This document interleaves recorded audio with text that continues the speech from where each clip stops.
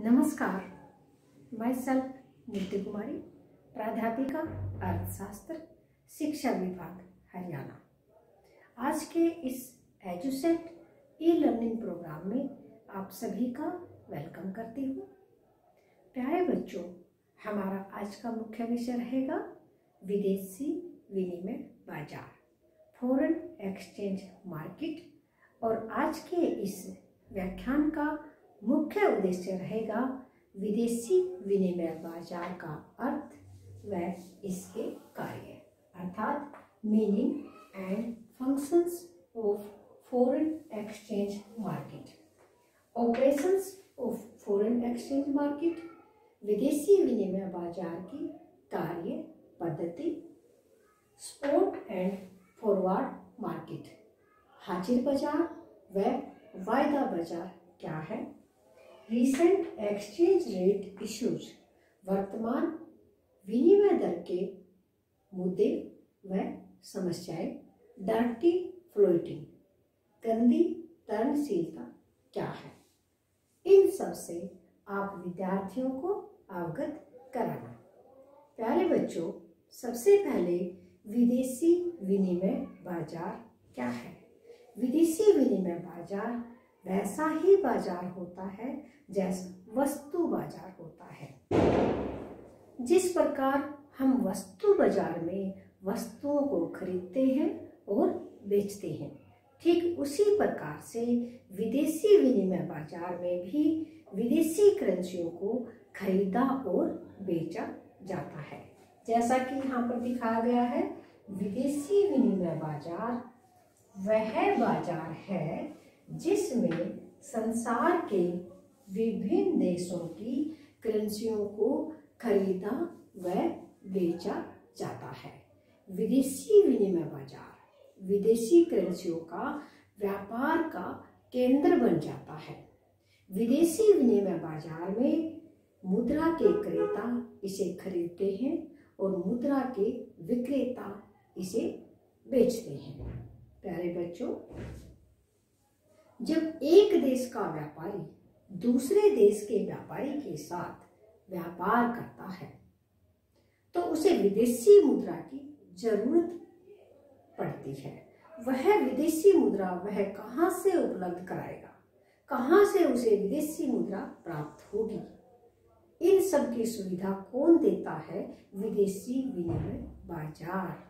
विदेशी विनिमय बाज़ार बहुत से कार्य करता है, जो कि निम्नलिखित है। जैसे सबसे पहला कार्य है हस्तांतरण कार्य ट्रांसफ़र फ़ंक्शंस विदेशी विनिमय बाज़ार परचेजिंग पावर को हस्तांतरित करता है। यह परचेजिंग पावर का, को ट्रांसफ़र करता है। जैसे एक देश के व्यापारी को दूसरे देश के व्यापारी के साथ व्यापार करने के लिए विदेशी मुद्रा की ज़रूरत पड़ती है तो वो कहाँ से प्राप्त होती है? वो वस्तुएँ आयात करने के लिए जो परचेजिंग पावर है या जो विदेशी करेंसी है, उसकी ज़रूरत पड़ती है। वो कहाँ से प्राप्त होगी? वो प्राप्त होगी हमें विदेशी विनिमय बाज़ार से। सेकंड कार्य है, साख कार्य या क्रेडिट फ़ंक्शंस डियर स्टूडेंट्स जिस प्रकार से देश में व्यापार करने के लिए, देश के व्यापारियों को साख की ज़रूरत होती है, उधार की ज़रूरत होती है, ऋण की ज़रूरत होती है या लोन की ज़रूरत होती है तो उसे देश के जो मौद्रिक बैंक है, वहाँ से प्राप्त हो जाती है। लेकिन विदेशी करेंसी की ज़रूरत महसूस होती है विदेशों में व्यापार करने के लिए। और विदेशों में व्यापार करने के लिए विदेशी करेंसी उधार कौन देगा या साख कौन उपलब्ध कराएगा विदेशी करेंसी की? वो उपलब्ध कराता है विदेशी विनिमय बाज़ार। इसी प्रकार से तीसरा जो कार्य है, वो है जोखिम से बचाव या पूर्व उपाय कार्य हैजिंग फ़ंक्शंस प्यारे बच्चों, जैसा कि हमने लास्ट लेक्चर में आपको बताया था कि आजकल दुनिया के तकरीबन सभी देशों में नम्य विनिमय दर प्रणाली पाई जाती है। और नम्य विनिमय दर प्रणाली में के तहत जो विनिमय दर होती है, उसमें दिन प्रतिदिन उतार चढ़ाव होते रहते हैं। क्योंकि नम्य विनिमय दर का जो निर्धारण है, वह विदेशी मुद्रा की मांग व विदेशी मुद्रा की पूर्ति के द्वारा निर्धारण या निर्धारित की जाती है। जैसे कि हम यहाँ रेखा चित्र में दिखाएँगे कि नम्य विनिमय दर प्रणाली के तहत विदेशी विनिमय दर का निर्धारण कैसे होता है? ये है डिमांड फॉर करेंसी और ये है सप्लाई ऑफ़ करेंसी और यहाँ पर इक्विलिब्रियम है और ये है रेट ये है रेट तो प्यारे बच्चों, यहाँ हमने देखा मांग और पूर्ति की शक्तियाँ जहाँ एक दूसरे को काटती हैं, वहाँ पर आर का निर्धारण यानी विदेशी विनिमय दर सॉरी नम्य विनिमय दर का निर्धारण यहाँ पर होता है। जैसा कि अभी हमने बताया कि जो विदेशी विनिमय बाज़ार है, वो हैजिंग का कार्य करता है। सुरक्षात्मक उपाय अपना करके, यानी कि पूर्व उपाय करता है, जोखिम से बचाव का कार्य करता है। जैसा कि आपको पता है कि विदेशी विनिमय दर में होने वाले उतार चढ़ाव का जोखिम से बचाव कैसे करता है, इसके लिए वह हाजिर बाज़ार या वायदा बाज़ार का प्रबंध करता है। बच्चों, विदेशी विनिमय की मांग व पूर्ति पहले से तय दर पर करता है। चाहे उसका क्रय विक्रय भविष्य में किसी भी अवधि में किया जाए। इस प्रकार से जोखिम से बचाव का कार्य या पूर्व उपाय कार्य या हैजिंग जो का कार्य है, वो कौन करता है? विदेशी विनिमय बाज़ार। इसके बाद अब हम आपको कराएँगे कि विदेशी विनिमय बाज़ार की कार्य पद्धति। Operations of foreign exchange market या विदेशी विनिमय बाज़ार की कार्य पद्धति। विदेशी विनिमय बाज़ार लेन देन के समय की दृष्टि से या तो हाजिर बाज़ार या वायदा बाज़ार के रूप में कार्य करता है। हाजिर बाज़ार क्या होता है? या हाजिर बाज़ार या स्पोर्ट मार्केट से क्या अभिप्राय है? हाजिर बाज़ार वह बाज़ार है जिसमें विदेशी विनिमय का चालू क्रय विक्रय किया जाता है। हाजिर बाज़ार की विशेषताएँ निम्नलिखित हैं। हाजिर बाज़ार दैनिक प्रकृति वाला होता है। हाजिर बाज़ार में विनिमय दर को तत्कालिक विनिमय दर कहा जाता है, या स्पोर्ट एक्सचेंज रेट कहा जाता है। नेक्स्ट है वायदा बाज़ार, या फॉरवर्ड मार्केट क्या है? वायदा बाज़ार वह बाज़ार है जिसमें भविष्य में किसी तिथि पर पूरे होने वाले लेन देन का कारोबार होता है। ऐसे लेन देन के पर पत्रों पर हस्ताक्षर तो आज किए जाते हैं, लेकिन यह लेन देन भविष्य में किसी दिन पूरा होता है। वायदा बाज़ार की विशेषताएँ, यह बाज़ार केवल भविष्य से संबंधित होता है। वर्तमान में या हाजिर बाज़ार से, यानी कि जिसमें चालू क्रय विक्रय से इसका कोई संबंध नहीं होता है। दूसरी विशेषता है, यह भविष्य की विनिमय दर को परिभाषित करता है। भविष्य में लेन देन का कारोबार क्यों किया जाता है? अब सवाल ये उठता है कि भी हम लेन देन का जो कारोबार है, वो भविष्य में क्यों करते हैं? क्या कारण है? तो सबसे पहला कारण है, विनिमय दर में किसी प्रतिकूल परिवर्तन की जोखिम से बचने के लिए। प्यारे बच्चों, जैसा कि आपको विदित है, आजकल दुनिया के तकरीबन सभी देश नम्य विनिमय दर प्रणाली को अपना रहे हैं और नम्य विनिमय दर प्रणाली का निर्धारण वहाँ पर होता है, जहाँ पर विदेशी मुद्रा की मांग और विदेशी मुद्रा की पूर्ति एक दूसरे को काटते हैं या एक दूसरे के बराबर होते हैं। जैसा कि हमने पहले भी बताया था कि आर, रेट जहाँ पर मांग और पूर्ति की शक्तियाँ एक दूसरे को काटते हैं, वहाँ पर विदेशी विनिमय दर का या फॉरेन एक्सचेंज रेट का निर्धारण होता है।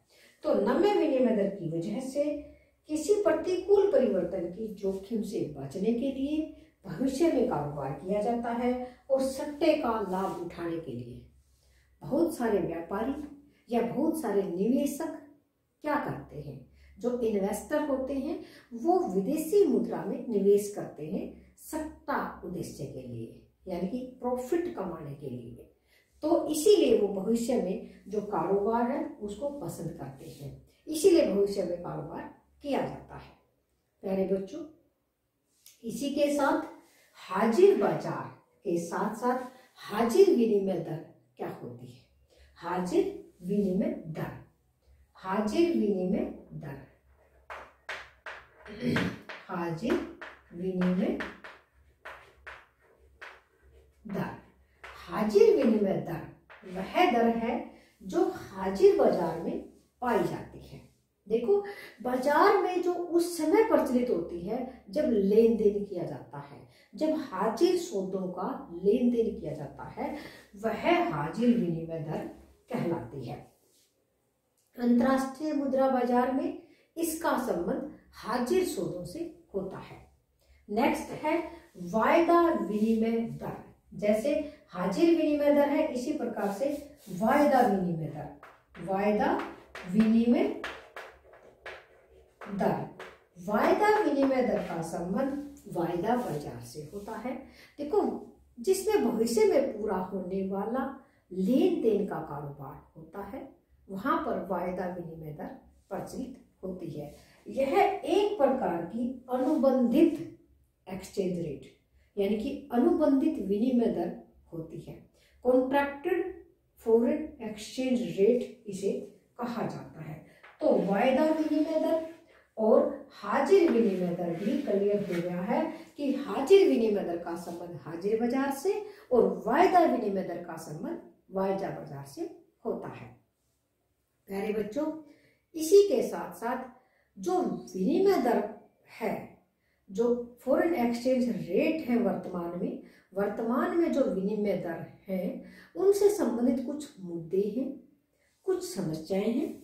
अब हम उन्हीं मुद्दों और उन्हीं समस्याओं पर विचार करेंगे। वर्तमान विनिमय दर के मुद्दे व समस्याएँ। रिसेंट एक्सचेंज रेट इश्यूज़ अंतरराष्ट्रीय मुद्रा बाज़ार में नम्य विनिमय दर प्रणाली की तरफ़ लोगों का झुकाव या देशों का झुकाव अब स्पष्ट रूप से प्रकट हो रहा है। वैश्वीकरण की जागृति आने के बाद नम्य विनिमय दर प्रणाली ने शिथिर विनिमय दर प्रणाली का स्थान ले लिया है या दुनिया के तकरीबन सभी देश शिथिर विनिमय दर को छोड़ करके नम्य विनिमय दर को अपना रहे हैं। यह ऑटो एडजस्टमेंट मैकेनिज्म पर आधारित है। क्योंकि जो नम्य विनिमय दर प्रणाली है, मांग और पूर्ति की शक्तियों की अंत क्रिया पर आधारित है। तो इसका मतलब ये नहीं है कि भी ये ऑटो एडजस्टमेंट मैकेनिज्म पर आधारित है तो सरकार के पास कोई मुद्दा ही नहीं है, कोई समस्या ही नहीं है। है और वो समस्या क्या है कि विदेशी विनिमय दर की परिवर्तनशीलता। विदेशी विनिमय दर में लगातार परिवर्तन आते रहते हैं, जिससे देश का विकास हतोत्साहित होता है। क्योंकि किसी भी देश का जो आर्थिक विकास है, वो एफडीआई पर निर्भर करता है, फॉरेन डायरेक्ट इन्वेस्टमेंट। और एफडीआई जो फॉरेन डायरेक्ट इन्वेस्टमेंट है, वो किस पर निर्भर करती है? विदेशी विनिमय की शिथिरता पर निर्भर करती है।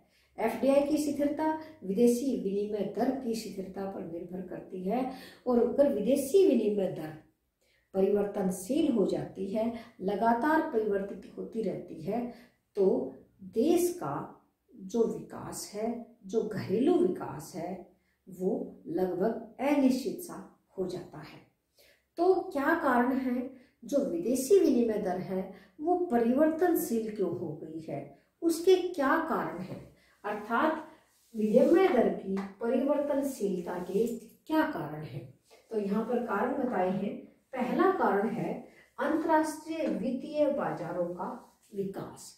जो इंटरनेशनल फाइनेंस मार्केट है, उनके विकास। उनका पहला कारण है कि जो अंतरराष्ट्रीय जो वित्तीय संस्थाएँ हैं या अंतरराष्ट्रीय वित्तीय बाजारों का विस्मयकारी विकास हुआ है। इसके फलस्वरूप क्या हुआ कि मुद्रा के हस्तांतरण में बहुत अधिक वृद्धि हुई है और करेंसियों की मांग और पूर्ति पर काफ़ी दबाव पड़ा है। और जब करेंसियों की मांग और पूर्ति पर दबाव पड़ा है तो इससे क्या है, विदेशी जो विनिमय की जो दर है, वो परिवर्तनशील हो गई है। ये एक सबसे बड़ा कारण है कि अंतरराष्ट्रीय वित्तीय बाजारों का विकास। दूसरा कारण है सूचना प्रौद्योगिकी का विकास। इंफॉर्मेशन टेक्नोलॉजी, आईटी कंपनीज़ का धड़ल्ले से विकास हुआ है और इसकी वजह से क्या होता है कि पहले जो काम होता था आईटी के इंफॉर्मेशन टेक्नोलॉजी के आने से पहले मैनुअली काम होता था। और जो कोषों का हस्तांतरण होता था, वो उसमें समय लग जाता था। लेकिन आज के समय पे जो कोषों का जो हस्तांतरण है, केवल एक बटन दबाने मात्र से हो जाता है। और जब कोषों का हस्तांतरण स्पीड से होगा तो मुद्रा की मांग और पूर्ति में भी परिवर्तन आएगा, उनमें दबाव बनेगा और जिससे विदेशी विनिमय दर परिवर्तनशील हो जाती है। तीसरा कारण है बढ़ती सट्टा क्रियाएँ बढ़ती सट्टा क्रियाएँ यानी कि पहले जब शिथिल विनिमय दर प्रणाली की बजाय जैसे ही नम्य विनिमय दर प्रणाली आई है तो जो निवेशक हैं, वो सत्ता क्रियाओं में विदेशी मुद्रा की, सत्ता के उद्देश्य के लिए विदेशी मुद्रा की मांग करते हैं। वो केवल लेन देन उद्देश्य के लिए ही मांग नहीं करते हैं, बल्कि सत्ता उद्देश्यों के लिए मांग करते हैं और अपने पोर्टफोलियो को, जो पोर्टफोलियो जो निवेश है, उसको परिवर्तित करते रहते हैं। तो इस वजह से भी जो सट्टा मनोवृत्ति के कारण भी विदेशी विनिमय दरों में परिवर्तन का होना निश्चित सा हो गया है। नेक्स्ट है, घरेलू ब्याज दरों में या मौद्रिक नीतियों में तेज गति से बदलाव। मौद्रिक नीति, जो कि मुद्रा की पूर्ति और ब्याज की दर से संबंधित होती है, उसमें बदलाव। व्यापार चक्रों के कारण, जो व्यापार चक्कर होते हैं, जैसा कि हमने पहले वीडियो में बताया था कि व्यापार चक्कर कभी मंदी, कभी तेज़ी। व्यापार चक्कर जो आते हैं तो उसमें कभी मंदी की स्थिति, कभी तेज़ी की स्थिति, कभी अभावी मांग तो कभी अधि मांग की स्थिति बनी रहती है। और अभावी मांग और अधि मांग को दूर करने के लिए सरकार मौद्रिक नीति को अपनाती है। मौद्रिक नीति के जो उपाय हैं उनको अपनाया जाता है और मौद्रिक नीति अभावी मांग की स्थिति में जब अभावी मांग होती है तो उस समय सस्ती मौद्रिक नीति अपनाई जाती है। सस्ती मौद्रिक नीति का अर्थ है कि लोग ज़्यादा मुद्रा की मांग करेंगे और ज़्यादा खर्च करेंगे। यानी कि ब्याज की दर कम अपनाई जाती है और जब ब्याज की दर को कम कर दिया जाता है तो जो एनआरआई हैं, विदेशों, जो विदेशी यानी कि फॉरनर है F N R I non resident of India, वो घरेलू बैंकों में यानी कि देशीय बैंकों में अपने पैसे को रखना पसंद नहीं करते हैं, जिससे विदेशी मुद्रा की पूर्ति के जो भंडार हैं, वो कम हो जाते हैं और जिससे विनिमय दर में परिवर्तन होना निश्चित हो जाता है। क्योंकि मुद्रा की पूर्ति, विदेशी मुद्रा की पूर्ति, विदेशी मुद्रा की मांग विनिमय दर को निश्चित करती है या निर्धारित करती है।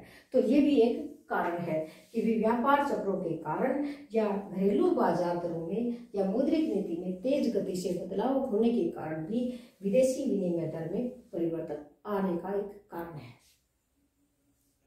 ये तो थे विदेशी विनिमय दर की परिवर्तनशीलता के कारण और अब हम बात करेंगे डर्टी फ्लोटिंग गंदी तरणशीलता क्या है?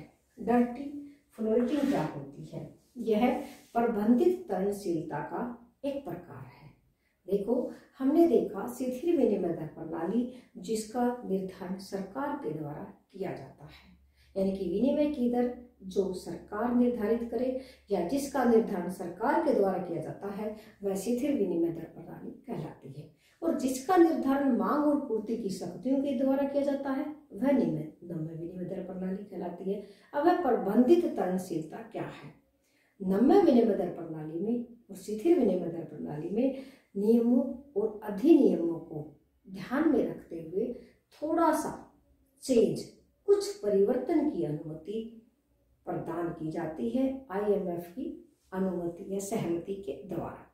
लेकिन जब नियमों और अधिनियमों को ध्यान में ना रख करके किसी देश का केंद्रीय बैंक केवल अपने देश के हितों को ध्यान में रखता है और दूसरे देशों के हितों को ध्यान में ना रख करके अगर विनिमय दर में परिवर्तन करता है तो वो गंदी तरणशीलता कहलाती है, या डर्टी फ्लोटिंग डर्टी फ्लोटिंग अर्थात नियमों और अधिनियमों को ताक पर रखते हुए, केवल अपने हितों की रक्षा करने के लिए, केवल अपना हित का जो उद्देश्य है वो पूरा करने के लिए, अपने स्वार्थ के लिए नियमों और अधिनियमों का जो पालन नहीं करते हैं और विनिमय दर में परिवर्तन कर लेते हैं, उसको बोलते हैं डर्टी फ्लोटिंग गंदी तरणशीलता।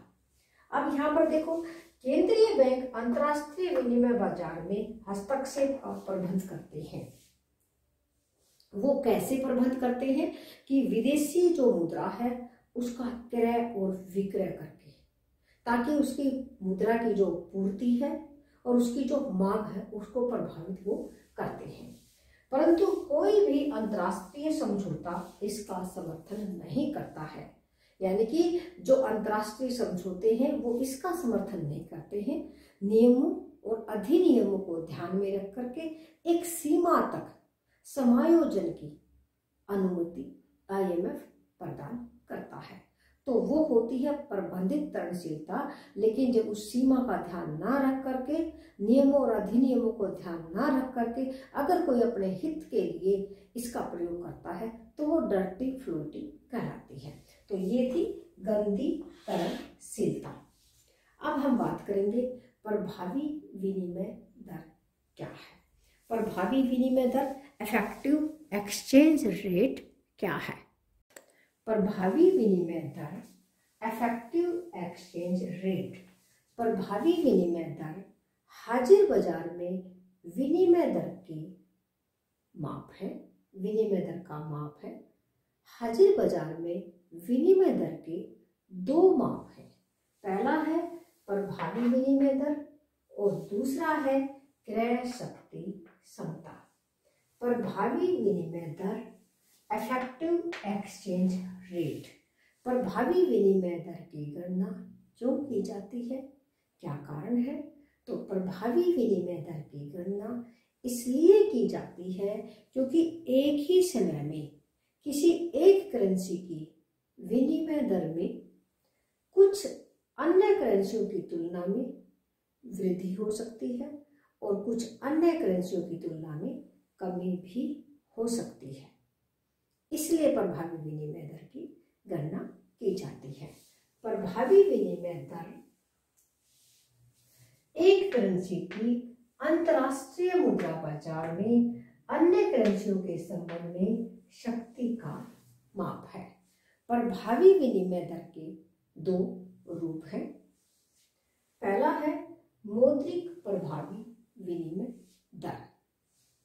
मौद्रिक प्रभावी विनिमय दर जिसमें एक करेंसी की अन्य करेंसियों के संबंध में औसतन शक्ति को मापते समय कीमत स्तर में होने वाले परिवर्तनों पर ध्यान नहीं दिया जाता है।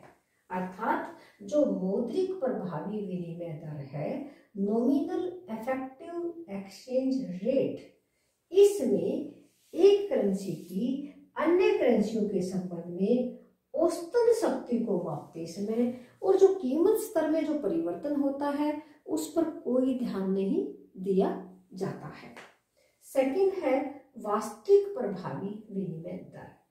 रियल इफ़ेक्टिव एक्सचेंज रेट वास्तविक प्रभावी विनिमय दर क्या है? वास्तविक प्रभावी विनिमय दर वह दर है जिसमें संसार के विभिन्न देशों के कीमत स्तरों में होने वाले परिवर्तनों को ध्यान में रखा जाता है। अर्थात जो कीमत स्तर में जो परिवर्तन होता है, उनको ध्यान में रखा जाता है। ये है वास्तविक प्रभावी विनिमय दर। नेक्स्ट है जो हाजिर बाज़ार में विनिमय दर का माप है। वो है क्रय शक्ति क्षमता purchasing power parity P P P triple P purchasing power parity क्या है? क्रय शक्ति क्षमता विभिन्न देशों में विनिमय दर का निर्धारण, उन देशों की मुद्राओं की क्रय शक्ति के अनुपात द्वारा होता है। अर्थात क्रय शक्ति क्षमता से अभिप्राय है कि विभिन्न देशों में विनिमय दर का निर्धारण उन देशों की मुद्राओं की क्रय शक्ति के अनुपात द्वारा होता है। इसका अभिप्राय है, दो देशों के बीच विनिमय दर उन देशों के कीमत स्तरों के अनुपात के बराबर होती है। जैसा कि इसका सूत्र दिखाया गया है सूत्र है R equal to P of A oblique P of B R है एक्सचेंज रेट यानी कि विनिमय दर। और पी ऑफ़ ए है ए देश में कीमत स्तर। और पी ऑफ़ बी है बी देश में कीमत स्तर। तो इसको हम एक उदाहरण के द्वारा की सहायता से क्लियर करेंगे। मान लीजिए, भारत में एक किलो सेब की जो कीमत है, वो सत्तर रुपये है। और अमेरिका में एक डॉलर। तब सत्तर रुपए की क्रय शक्ति एक डॉलर के बराबर होगी और तब विनिमय दर होगी rupees seventy equal to one dollar.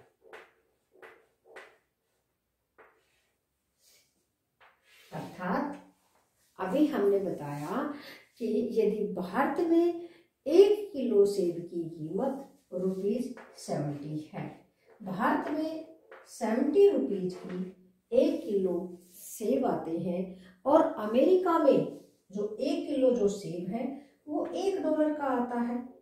एक डॉलर एक डॉलर में एक किलो सेब आ जाते हैं और भारत में सत्तर रुपए में एक किलो सेब आते हैं। तो इसका क्या मतलब है कि सत्तर रुपए की जो क्रय शक्ति है, जो परचेजिंग पावर है, वो किसके बराबर होगी? एक डॉलर के। यानी कि seventy rupees equal to one dollar यह विनिमय दर होगी। यानी कि विनिमय दर क्या होगी? Rupees seventy equal to one dollar dear students आज हमने आपको कराया विदेशी विनिमय बाज़ार क्या है? विदेशी विनिमय बाज़ार के कार्य, इसकी कार्य पद्धति, हाजिर बाज़ार क्या है? वायदा बाज़ार और विदेशी विनिमय दर या वर्तमान में जो विनिमय दर है, उसके कुछ मुद्दे, कुछ समस्याएँ, उन समस्याओं का क्या कारण था? और डर्टी फ्लोटिंग डर्टी फ्लोटिंग क्या होती है? और इसके साथ साथ हाजिर बाज़ार में विनिमय दर के माप, जो कि प्रभावी विनिमय दर और क्रय शक्ति समता। प्रभावी विनिमय दर के भी दो रूप हमने बताए, मौद्रिक प्रभावी विनिमय दर और वास्तविक प्रभावी विनिमय दर। डियर स्टूडेंट्स मैं उम्मीद करती हूँ कि आप सभी बच्चों को ये व्याख्यान अच्छे से क्लियर हुआ होगा। और इसी के साथ मैं आपने इस लेक्चर को विराम देती हूँ और आप लोगों से विदा लेती हूँ। धन्यवाद।